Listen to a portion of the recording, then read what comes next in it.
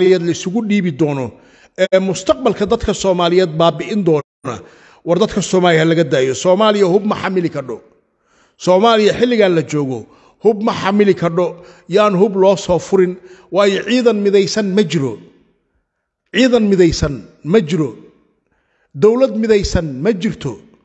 Waxaad ogaan doontaan in hubkaas laysku gumaado oo hadhow reer barreer uu ku duulo oo hadhowna dhibaato weyn ay dhacdo qodobkaas hubka halkaasaan uga tegaya waxaan kaloo ka hadli doonnaa ismaaciil cumar geelle oo hub badan dalka jabuuti ku soo wareejiyey muuse biixi ku soo wareejiyey dekadda berbere laga soo dejiyey hubkaasoo ahaa taangiyo iyo qoryo madaafiic hoobiyayaal iyo qoryaha la jiido oo la yihahdo artileriga ayaa waxaa laga soo dejiyey dekadda berbera sawirro laga qaaday dekadda berbera dusheeda oo satellite-ka uu sawiray baa waxaa lagu arkay ismaaciil cumar geelle markab jabuuti uu leeyahay maaha waa markab dad shacaba ay leeyihiin oo ganacsato ah.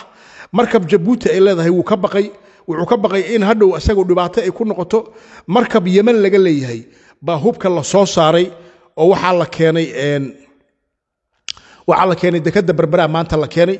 Hubkaasoo ahaa taangiyo hoobiyayaal altalleri madaafiicda waa weyn goobta madaafiicda hubkaasoo isugu jiray oo markabkaa ku jiray.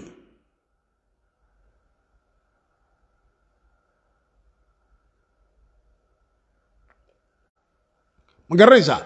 Marka halkaasna hub baa lagu gurayaa gobolka sool. Galabtay madaafiic baa la soo riday adigu casar iyo maqrib dhexdooda. Madaafiic baa la soo riday madaafiicda waxay ku dhaceen meel ay deganaayeen ciidan cismaan maxamuud oo mujaahidiinta ayaguna ka mid ahaa laakiin ciidanku qolo walba meel bay degtay aag bay ku jirtaa. Qolo walba aag bay gashay. Marka sidaa darteed ciidanku way kala qaybsan yihiin ayagoo isku beel ah iyo haddana waxay kala yihiin beelo.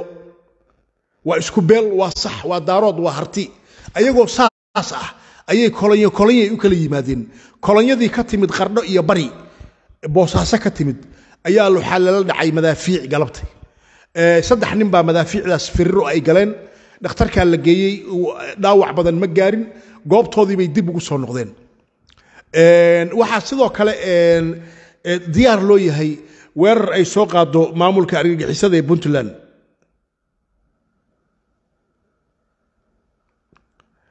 Jabhadda argagixisada ee snm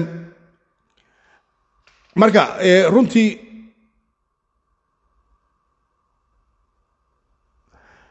runtii marka madaafiicdaas lala soo dhacay oo haddana ismaaciil cumar geelle uu soo wado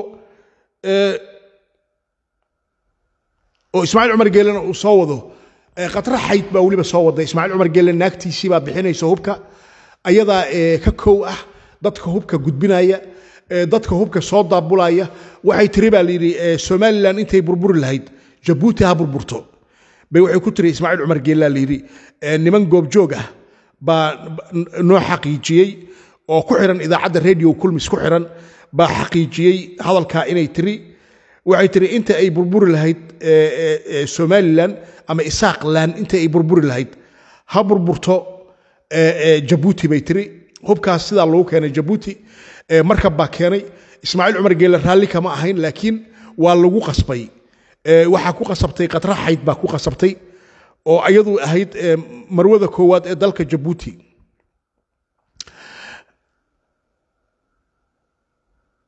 Waa kansar ismaaciil cumar geelle waa kansar soomaaliya ku yaalla. Axmed madoobe waa kansar soomaaliya ku yaalla. Siyaasiyiinta hawiye ee xamar jooga waa kansar soomaaliya ku raagay soomaaliya waxay noqotay meel laga ganacsado siyaasadeedii. Political business wax layaaday noqotay. Ma aha meel soomaaliya ma aha meel dowlad iyo wax looga raba ma aha. Waa meel ganacsi. Kuwii shalay xasan sheikh keensaday ee ajanabiga ahaabaa weli jooga oo muska ku jira. Xasan sheikh waataa hadda aragteen sharci baa la ansixiyey. Sharcigaasoo loo ansixiyey imaaraadka. Sharciga imaaraadka loo ansixiyey maxaa ku qoran? Golaha wasiiradu xataa ma aysan akhrin. Baarlamaanka waa la keenay waa la iska seexay. Maxkamaddii gobolka banaadir baa diiday sharcigaas waxay tihi sharci vaalida ma aha. Markii maxkamadda ay ka hadashay dadkii maxkamadda ka shaqaynayey oo isla hawiye ah ayaa la yidhi idinku wax ma tihiin annagaa wax ah ka hor leexda sharciga. Marka waa sharci hadhow dhibaato badan ka imaan doonto. Nimankaas imaaraadku waa hadda ka hor waa nimankii dalka laga saaray waxaa looga saaray dhaqan xumo. Ciidan waxay samaysanayaan calooshooda ushaqaystayaalaha waa sida kuwa puntland jooga oo kale. Puntland kuwa jooga layihahda b m b f waa calooshood ushaqaystayaal imaaraadka mushaarka siiya deni kama amar qaataan deni marbaba ninba hadda nin wabeeneeye ah baa waagii hore boosaaso laga furay mas'uulka ahaan jiray cabdirasaaq baa la dhihi jiray iyo faroole labadaas nin baa keenay ninkii shirkadaas keenayna waageeda hore waxaa la dhihi jiray alxabaab baa la dhihi jiray ilaalada xeebaha puntland bay ahayd oo waxay ilaalin jirtay gacanka carbeed waxay ka ilaalin jirtay in maraakiibta khaliijka u socota aysan burcadbadeeda qabsan. Sidaa darteed be waxay u sameeyeen ciidan ilaalada badda ah. Imaaraadkaa samaynaya alxabiib baa shirkadaas la dhihi jiray. Anigaa u shaqayn jiray aniga. Aniga idila hadlaaya baa u shaqayn jiray.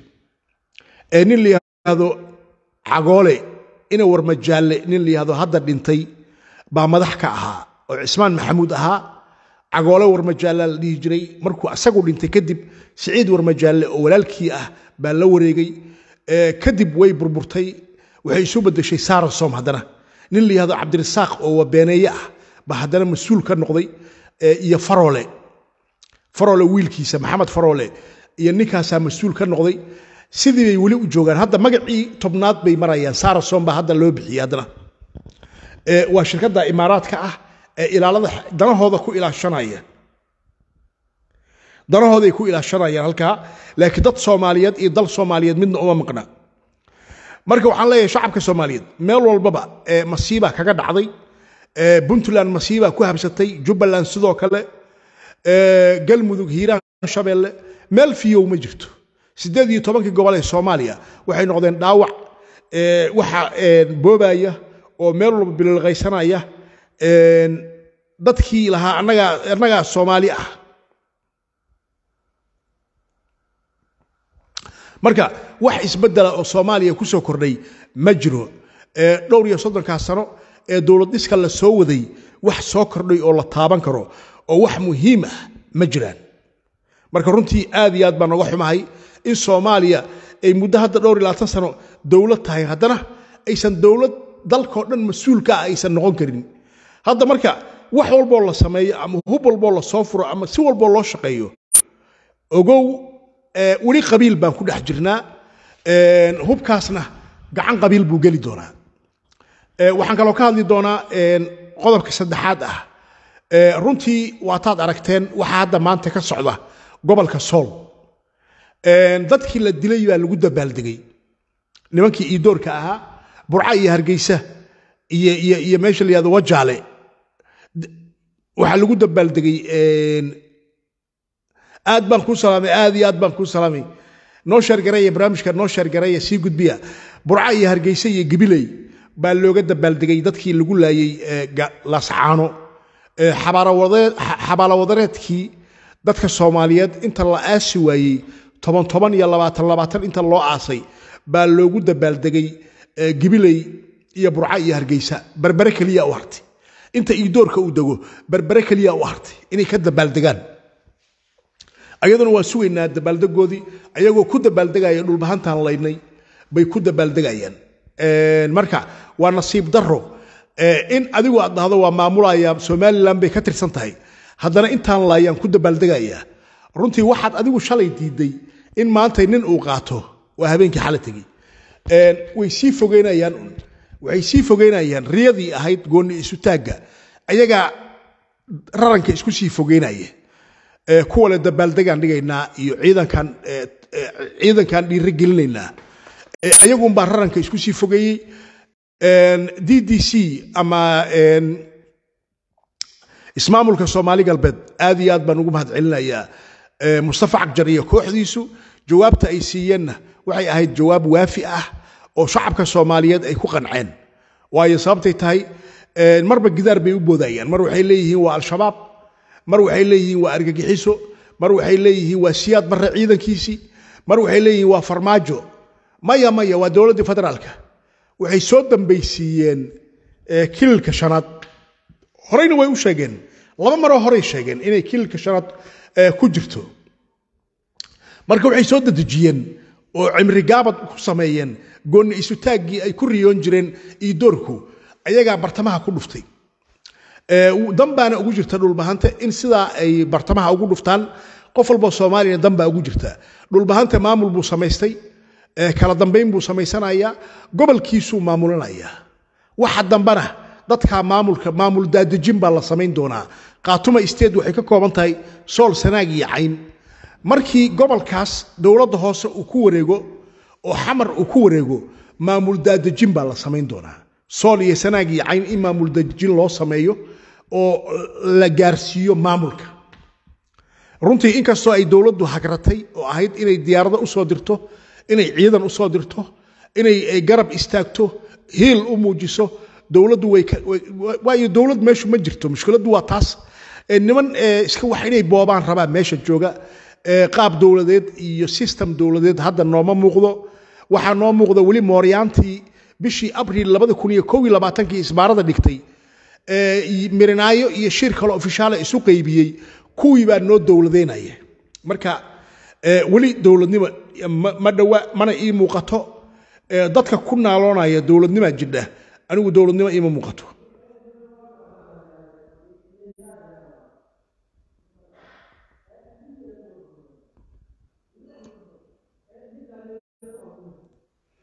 ma garanaysaa marka runtii berri oo sabti ana waxaa laysku heli doonaa. Haddii allah awoodda la idmo magaalada london oo lafa aan u dirnay lafaan u dirnay lafo. Lafahaasoo aan diyaarad saarnay oo dubay laga qaaday ingiriiskaa la geeyey berri lafaa lala soo bixi doonaa. Lafihii freshka ahaa ee gobolka sool lafo qoyan baa berri lala tegi doonaa haddii ilaahay ku ron yahay. Waa berri waa sabtida waa mudaharaadka wey ayagoo doonaya isaaqu inay yidhaahdaan al-shabaab baa nagu soo duushay. Marka in halkaa laga mudaharaado oo la yihahdo al-shabaab ma soo duuline dadkii deegaanka lahaa ee dhulka lahaa baa diiday. Ma garanaysaa? Dadkii dhulka lahaa baa diiday. Ayagu shalay lafay wateen maanta lafa kaloo cusub baa la qaadayaa oo labaatanka dhacay xasuuq dhacay qaramada midoobey ay ogoshahay ayadu ay sheegtay kun oo qofood baa barakacday bay tiri ururka ojo u n d b da ay leedahay qaramada midoobe ay leedahay. Waxay kaloo sheegtay toddobaatan kun oo guri in la burburiyey bay sheegeen. Waxay kaloo sheegeen laba boqol iyo shan iyo toban qofood in la dilay. Waxay kaloo sheegeen in ay in la burburiyey goobihii cibaadada. Waxay kaloo sheegeen in la burburiyey waxbarashadii in la burburiyey guryo badan in la qaxiyey dad iyo dunyaba marka haddii wax cad baan maanta haysanaa laakiin iidoorku ayagu lafa dameer bay la socon jireen shalay. Lafa dameer bay wateen iyo taariikh aan la ogeyn xilli la qoray. Laakiin maanta labada waxaa la hayaa taariikh cad iyo lafihii oo fresh ah. Marka berri banaanbaxaasna wuu jiraa oo waxaa lagu banaanbixi doonaa mudaharaadkaas ka dhici doona magaalada london waana dad badan oo xaggaa noo jira ayaa soo duubi doona insha allahu tacaala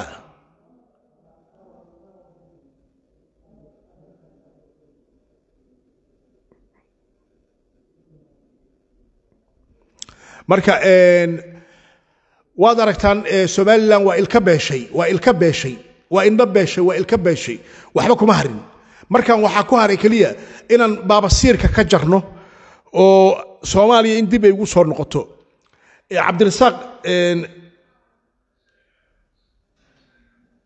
guddoomiyihii baarlamaanka ee somalilan isaguna wuu tagay wuxuu aaday cabdirasaaq khaliif isaguna addis ababa buu aaday howlo shaqu u aaday.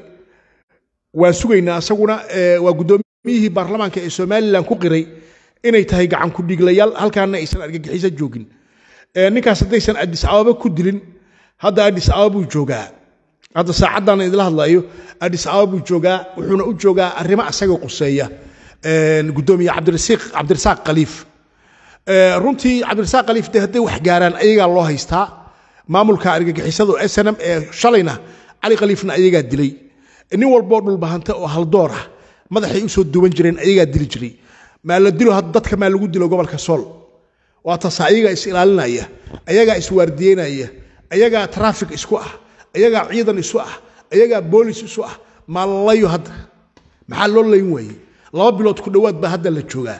Maxaa loo layn waayey ayagaa layn jiray ayagaa layn jiray qof walba oo haldoor ah oo gobolka sool ka kaca oo wax garan kara way diidan inuu la noolaado marka runtii waxaan leenahay dhulbahanto waa tashtay waa isu tegey aragtidoodii iyo fikirkoodii ka tashteen dibadday mareen. Ma tashan kartaan annagaa idii talinayna wax ma noqon kartaan annagaa wax idinka dhigayna dhulbahante intaasaa loo haystaa. Idinku ma tashan kartaan wax ma noqon kartaan. Annagaa wax idii ah. Maxaa maxaa dambaysay marka? Taas waan ogeyn. Cali khaliif galeer markii laga taqlusee la dilay maxaa ku xigtay? Waxaa ku xigtay halkan somalilan baa la yidhaahdaa adiku ma lihid. Ingiriiskaa noo calaamadiyey. Oo anigu xaggee leeyahay. Baydhabo aad muqdisho aad boosaaso aad garowe aad gaalkacyo aad.